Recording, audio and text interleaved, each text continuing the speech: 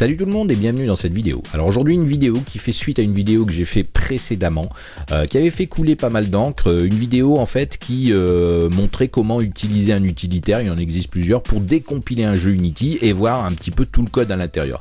J'avais mis l'accent justement euh, aussi sur le problème de sécurité, c'est-à-dire quand vous codez des mots de passe ou des choses, vous pouvez voir que du coup tout est en clair et on peut décompiler le jeu et voir tout ce qui se passe à l'intérieur et notamment comment vous avez construit vos méthodes, vos fonctions, votre algorithme, enfin tout est visible.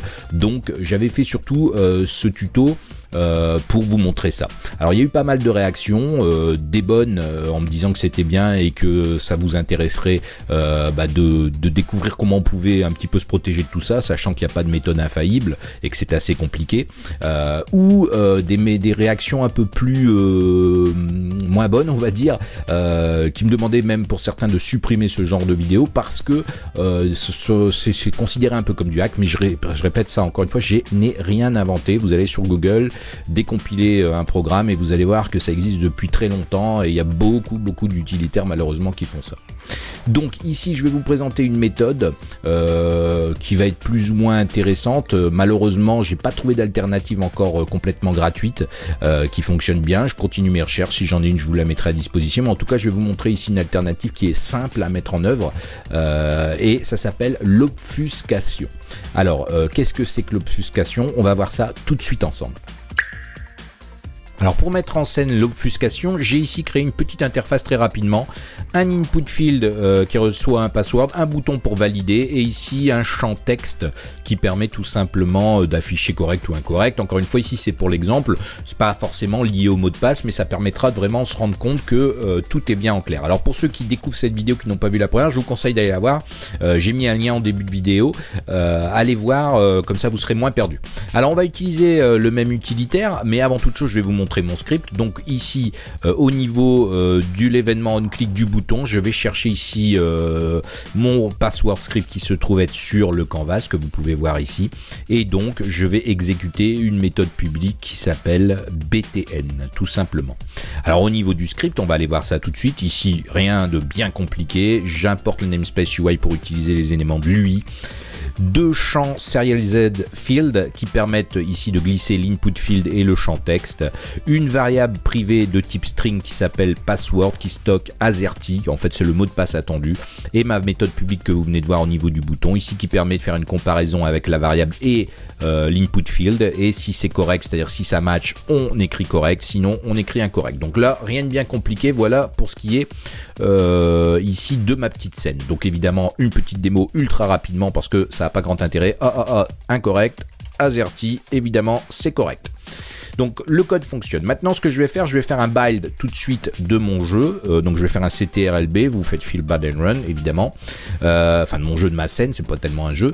Et ça me permettra de, créer en fait euh, la compilation ici sous Windows et d'utiliser l'utilitaire ELSpy ici pour aller chercher tout simplement bah, l'ADLL que vous avez vu dans la vidéo précédente qu'il faut éditer pour récupérer en fait voir tout ce qui se passe au niveau de votre jeu. Alors, on va aller voir sur le bureau. J'ai ici au niveau de la structure mon test, je l'ai compilé sous le nom de test, donc test exe. J'ai le test data et l'unity player DLL qui est livré avec. Donc dans le test data, ce qu'il faut éditer ici, c'est dans le dossier managed et ici l'assembly C Sharp qui va tout révéler. Donc on va au niveau euh, DL Spy, donc je vais faire un copier ici du chemin. On va aller ouvrir et ici, bah, je suis déjà dedans, donc ça tombe bien. Je vais valider quand même. Voilà. Et je vais prendre ici l'assembly C Sharp DLL. Donc ici, qu'est-ce qui se passe? Ben, J'ai euh, sur le petit ascenseur toutes les références, mais ce qui va nous intéresser, c'est ce qu'il y a ici. On avait vu ça dans la première vidéo, les accolades. Et vous pouvez voir que j'ai ici mon password de script. Et à l'intérieur, on peut voir tout ce qui se passe exactement une fois compilé. Mon code, il est là, bien en clair. Et on sait qu'il faut taper AZERTY une fois décompilé.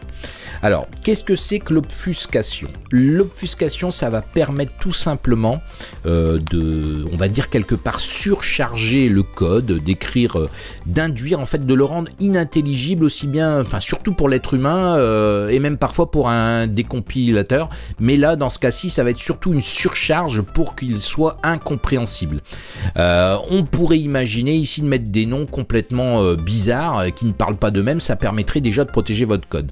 Alors, faut savoir que ça a quand même des inconvénients. La première chose, c'est que l'obfuscation, euh, ça va alourdir votre code, c'est-à-dire que votre, euh, votre euh, exécutable risque d'être beaucoup plus lourd.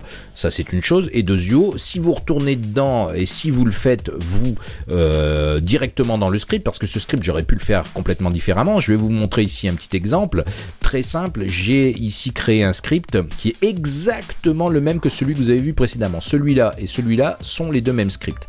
La seule chose, c'est que je l'ai, la classe, je l'ai nommée avec un nom complètement aléatoire. L'input field, je l'ai nommé encore une fois avec un nom complètement bizarre qui ne parle pas. On peut voir ici que le champ euh, de password euh, ici, euh, ben, je l'ai nommé tout simplement comme ça. Et on peut voir que ben, ça devient déjà un peu plus compliqué à la compréhension si vous voyez ça. Alors l'inconvénient c'est aussi que pour le maintenir, votre code, si vous faites ça, ça va être très compliqué. Donc c'est là que l'obfuscator, l'obfuscator va être intéressant parce que vous allez pouvoir, je vais d'ailleurs fermer ça, garder votre code normal et l'obfuscator va se charger après compilation de modifier tout ça. Ce qui va être très intéressant. Alors je vais vous présenter un utilitaire euh, qui est pas gratuit mais qui fonctionne très bien.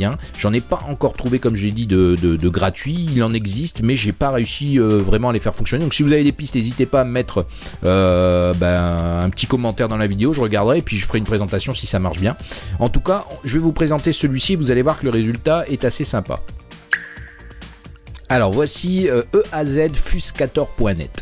Alors, vous pouvez le trouver ici en téléchargement sur Download. Vous pouvez essayer ici cette version euh, d'essai euh, qui est complètement fonctionnelle pendant quelques jours. On peut voir ici euh, une version d'évaluation de 30 jours. Alors, il me semble que c'est un petit peu moins, vous allez voir. Par contre, l'inconvénient, c'est que la version coûte ici 399 dollars pour une licence unique et ici pour 6 licences 1699. Donc, vous aurez bien compris ici, ici c'est des développeurs illimités. vous avez le support et vous n'avez pas de priorité de support, mais euh, c'est déjà un coût. Ceci dit, euh, le jeu en vaut parfois la chandelle euh, si vous devez protéger votre jeu, sachant que c'est pas infaillible. on vous dira que même un jeu obfusqué, si la personne est décidée, elle va aller chercher, elle va réussir à trouver. C'est pas inviolable du tout, mais c'est quand même une bonne protection pour ceux qui veulent déjà un peu protéger leur jeu, que ce soit pour le hack ou pour la triche, ça peut fonctionner aussi. Donc moi je l'ai déjà installé, donc je vais ici aller euh, sur le bureau, il est là, je le lance et ça fonctionne très simplement. Euh, il suffit ici de drag and dropper votre DLL dedans. Donc je rouvre le dossier data, je vais dans Managed, c'est cette fameuse assembly C Sharp que je glisse ici. On peut voir que ici j'ai Protecting, voilà. Alors on me dit que c'est une version d'évaluation, que je ne peux pas distribuer cette assembly et que cette assembly euh, ne marchera pas, ne marchera plus après le 24-12. Donc vous voyez notre limitation, c'est qu'ici on est le 17, donc elle va marcher que quelques jours. Bon, ceci dit, euh, encore une fois, ici vous allez voir que c'est quand même assez efficace. Donc là c'est terminé. Donc une opération très simple, c'est le gros avantage de cet utilitaire. Alors maintenant, ce que je vais faire, je vais de nouveau euh, reprendre ELSpy ici et euh, je vais recharger ma DLL. Alors je vais pas m'embêter, je vais tout supprimer et je vais la recharger tout simplement.